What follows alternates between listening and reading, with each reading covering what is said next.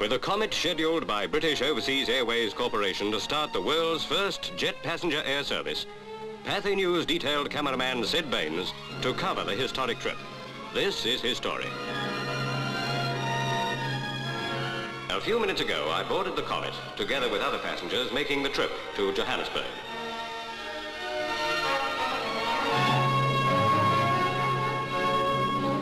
Captain Philip Brentnall took us off with Flying Officer Charles Bois, known to everybody as Charlie Boy, as co-pilot.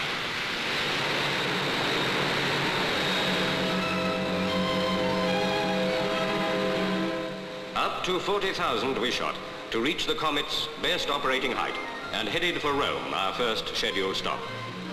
Then I began to realize what a wonderful ship this was. Like all newsreel cameramen, flying is no novelty to me, but this was something new.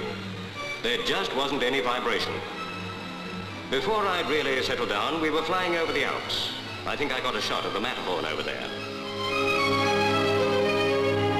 Skipper Brentnall pointed out Corsica, that large mass of land 70 miles away.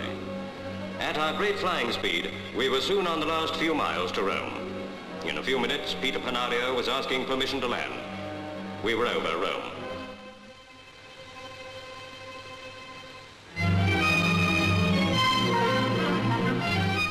There was an hour's refueling break scheduled.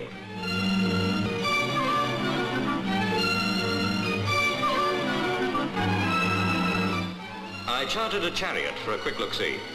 I got as far as the Colosseum, where lions used to eat Christians. They tell me you ought to see it by moonlight. Unfortunately, we were due to take off at six. As a matter of fact, I only just made it. The jets were warming up.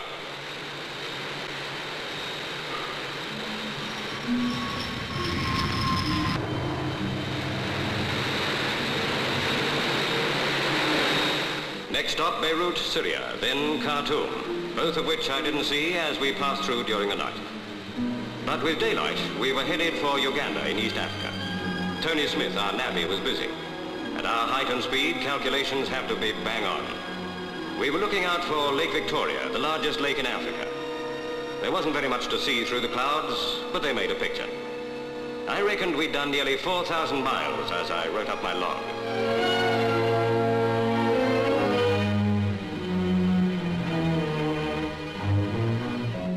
Lake Victoria, on the northern end of which stands Entebbe, our next stop. Charlie Boy prepared to ease the engines to the skipper's orders, and soon we landed at Entebbe.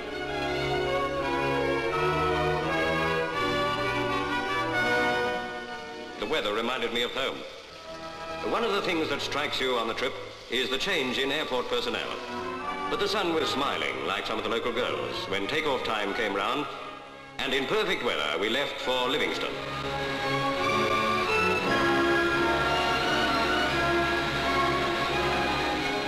Stewardess, Audrey Cartmel, assured us everything's fine as she served breakfast.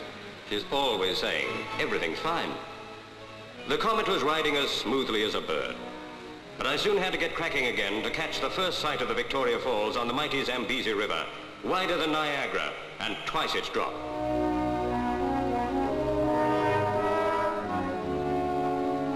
We were heading in for Livingstone Airport now.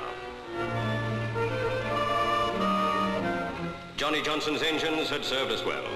This was the last stop before Joburg.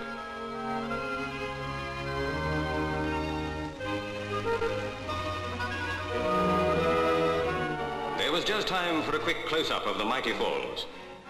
I ignored a couple of gentlemen with the inevitable souvenirs, which I'll bet weren't all my own work, sir.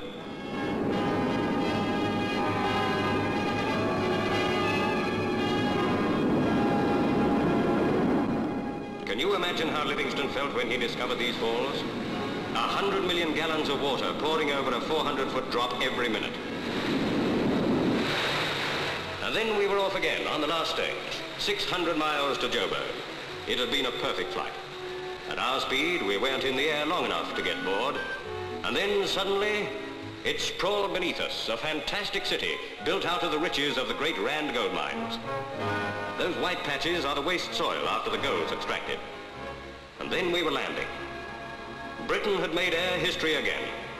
The world now had its first passenger jet air service. Nearly 7,000 miles by jet. I landed at Joburg full of smiles. Anytime I have to record history in the making again, I'll travel Comet, please. Every time.